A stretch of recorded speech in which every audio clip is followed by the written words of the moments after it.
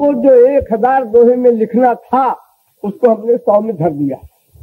एक बटे दस में।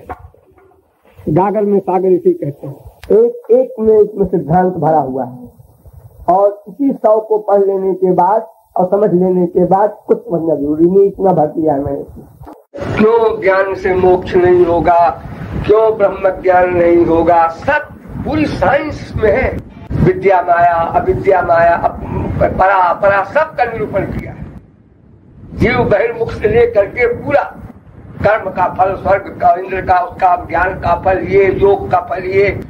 इसमें क्या बात है? इसमें क्यों ऐसा है?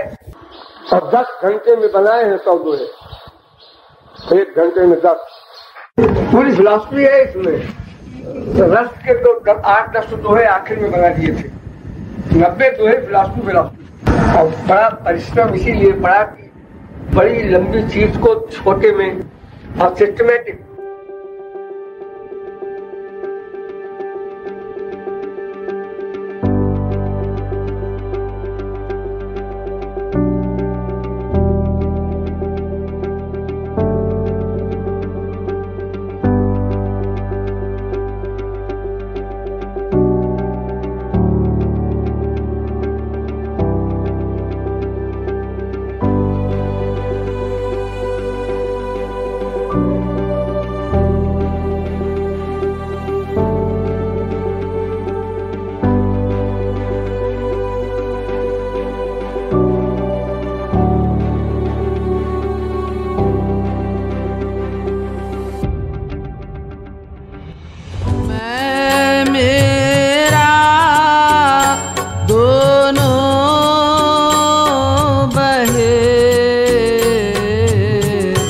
ज्ञानीन ज्ञान मझा